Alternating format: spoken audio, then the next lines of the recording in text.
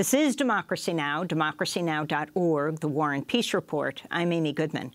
As we turn to Gaza, where thousands of Palestinians have resumed protests against the Israeli blockade, Israeli soldiers have killed at least 119 Palestinians and wounded more than 13 others since the Palestinians' nonviolent Great March of Return protests began on March 30th. A week ago today, Israeli forces shot dead Israeli medic Razan al-Najjar as she was helping evacuate wounded Palestinians at a protest near the separation fence between Israel and Gaza. At the time of her killing, she was wearing a white medical coat and a medical ID card. The following day, thousands of people poured into the streets of Gaza to attend her funeral. The Palestinian medic's killing has also sparked international outrage. Earlier this week, the Israeli military said Israeli snipers had not intentionally shot at Razan, but now the Israeli military is facing widespread criticism after it released a short video Thursday that was heavily edit edited in efforts to claim that the slain Palestinian medic was acting as a human shield for Hamas when she was shot dead by an Israeli sniper. The video, posted by the Israeli Defense Forces, appears to show Razan throwing a smoke grenade into an empty field. The words on the video read, this medic was incited by Hamas to give up her life for their goals.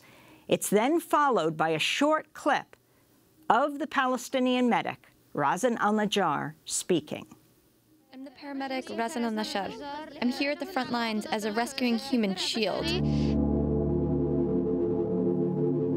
After Razan speaks, the words on the video read, Hamas uses paramedics as human shields.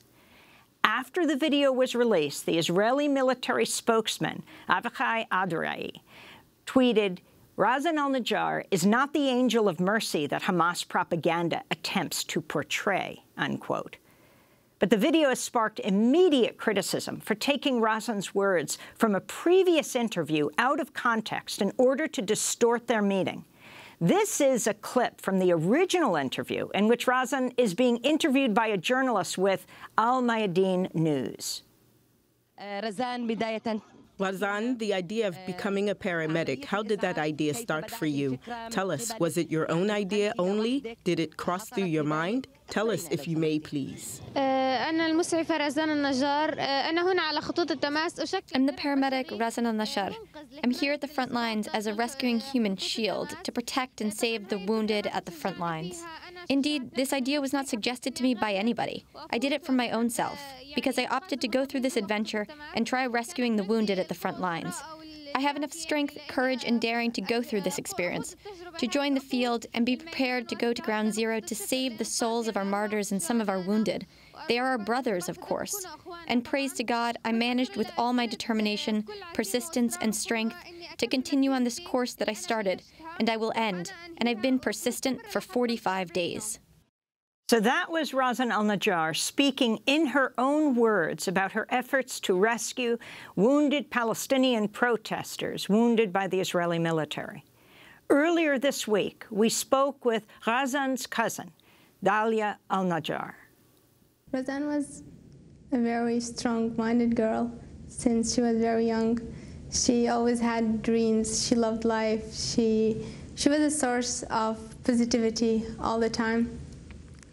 And uh, being a nurse was one of her dreams. She worked hard to be one. She couldn't uh, get a degree in nursing, unfortunately, because of the financial situations her family uh, were living under. And then she went and get, got a training uh, in nursing for two years. And she worked as a volunteer for two years without being paid. And then uh, she felt it's her duty to be a first responder um, because it's everyone's duty. Everyone has a role in what's going on, and uh, she felt that she can do what she's best at by being a first responder. She was one of the first uh, female first responders, and uh, she inspired many people. I heard uh, stories from her colleagues saying that uh, other uh, other first responders used to motivate each other by mentioning her and talking about her. If anyone is sitting, they would tell him, "Come on." Uh, Razan broke her wrist, and yet she com she completed her shift. Uh, so she's a source of inspiration for everyone. That was Razan Al-Najjar's cousin, Dalia Al-Najjar. We reached her in Istanbul, Turkey, where she's co-founder of Zyla Water, an organization dedicated making clean water accessible around the world. Well, for more, we go to Sweden via Democracy Now! video stream to speak with Muhammad Shehada, writer and activist from the Gaza Strip, student of development studies at Lund University in Sweden.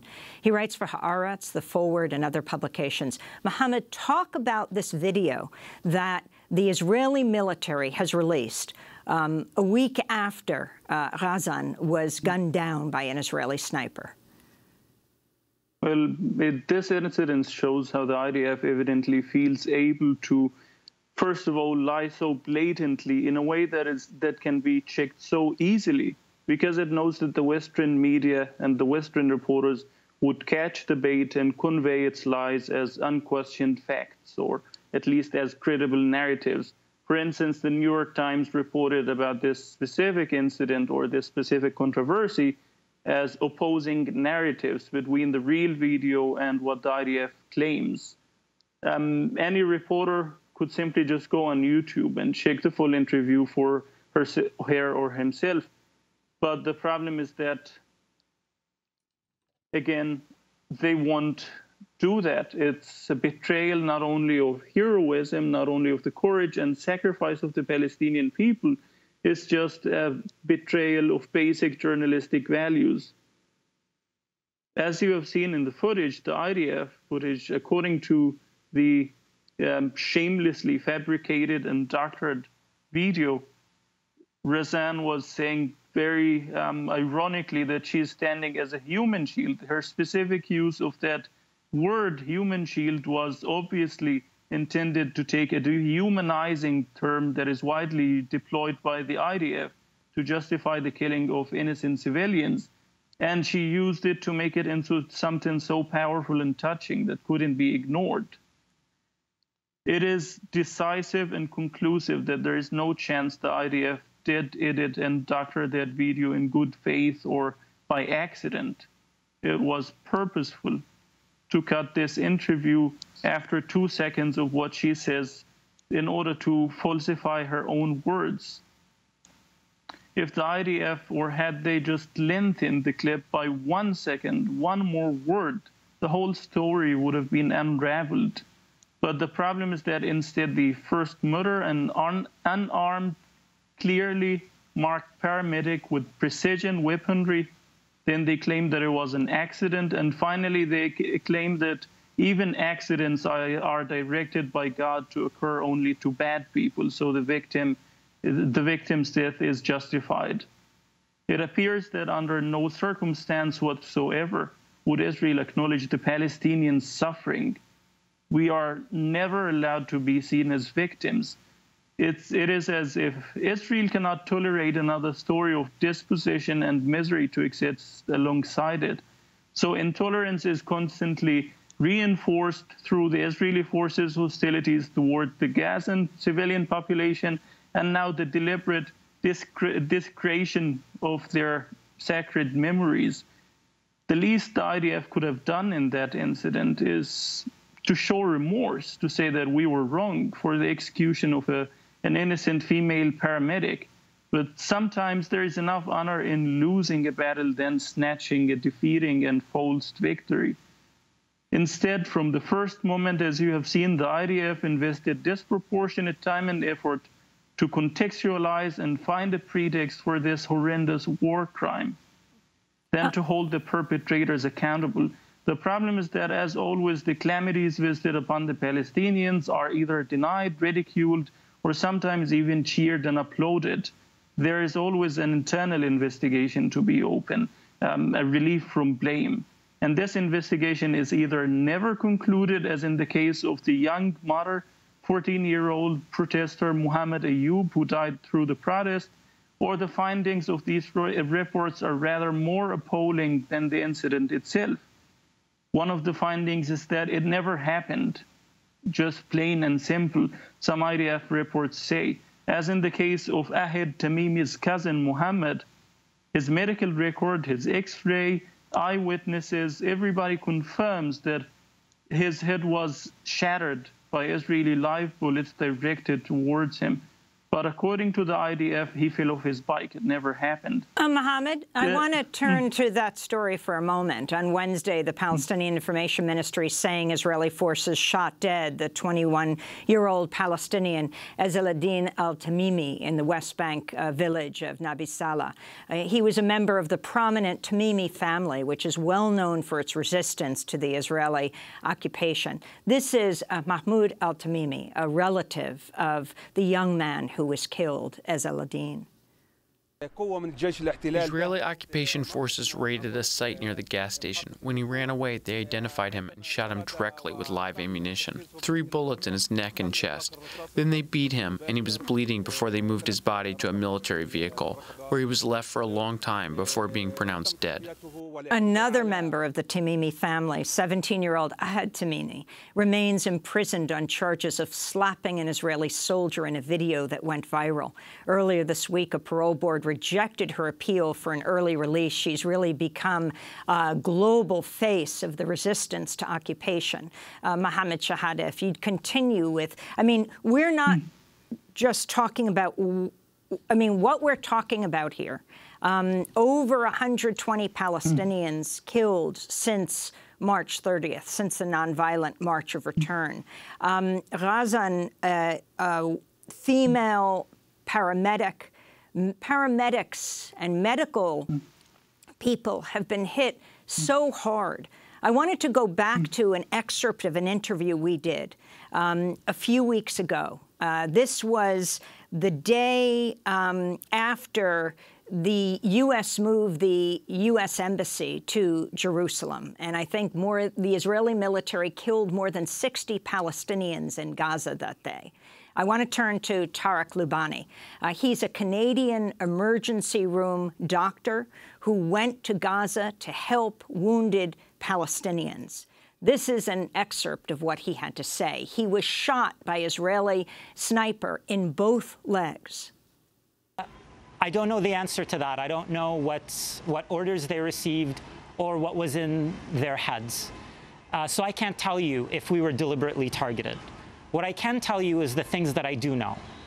In the six weeks of the march, there were no paramedic casualties. And in one day, 19 paramedics, 18 uh, wounded plus one killed, uh, and myself were all injured. Uh, so, or were all shot with live ammunition. Uh, we were all, Musa was actually in a rescue at the time, but everybody else I've talked to was like me. We were away during a lull without smoke, without any chaos at all, and we were targeted, um, or, and we were rather hit by live ammunition, most of us in the lower limbs. So it's very, very hard to believe um, that the Israelis who shot me and the Israelis who shot my other colleagues, just from our medical crew, four of us were shot, including Musa Abu Hassanein, who passed away. It's very hard to believe that they didn't know who we were they didn't know what we were doing and that they were aiming at anything else. So that is Dr. Tarek Loubani. I mean, the Canadian Prime Minister Justin Trudeau spoke out about this. Uh, he was shot in both legs. And the man he just mentioned, the paramedic Musa, who went to save him, was shot dead an hour later.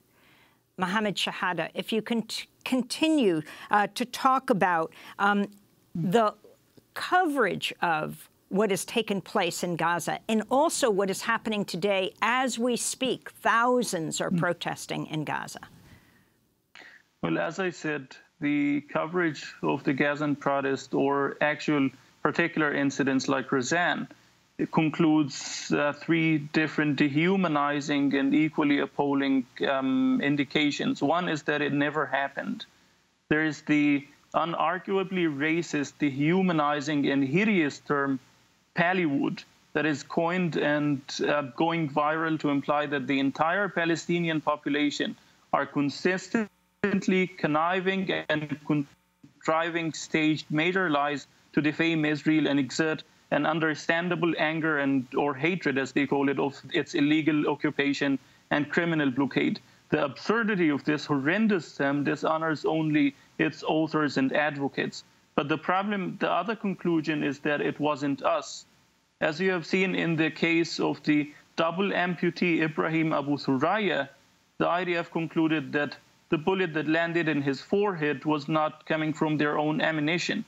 Another racist term is coined here to describe Ibrahim's death as self inflicted suffering.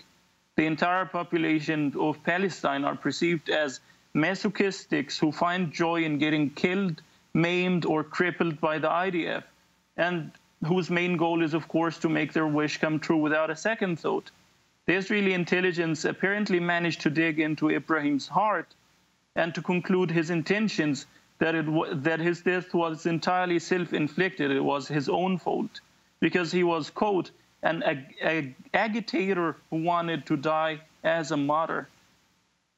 And they indeed purposefully overlook the fact that even if Ibrahim, for once in his life, contemplated death as a relief from the insufferable misery that, he's, that he endured, it was mainly because the IDF first shot his legs, both of them stole his legs and stole his life because Israel's blockade turned his life into unbearable hell. He spent his golden years crawling on the floors, begging for bare bones subsistence. The third conclusion, which is what we are now seeing in Razan's case and in the case of the Palestinian journalist Yasser Mortaja, is that it was an accident. And it comes from a deep and evident wishful thinking that if you presume the IDF to be the most moral army in the world, you can never conclude that they did this on purpose by no means the most moral army in the world would do such thing. The IDF stated at the beginning of the protest that it knows where every bullet shot at the protest landed, maybe except for the ones that when it's convenient for them to claim otherwise, like in the particular case of Razan. You see that they say first she was shot by accident. The bullet apparently was shot in the air and bounced back and accurately shattered her heart and even incidents that happen by accident, according to the IDF definition, only happen to bad people, as they call them. So the IDF, instead of investigating the actual incident or the accident, seem to spend great time and effort trying to prove an alleged affiliation between the victims and dehumanizing categories that would justify their killing.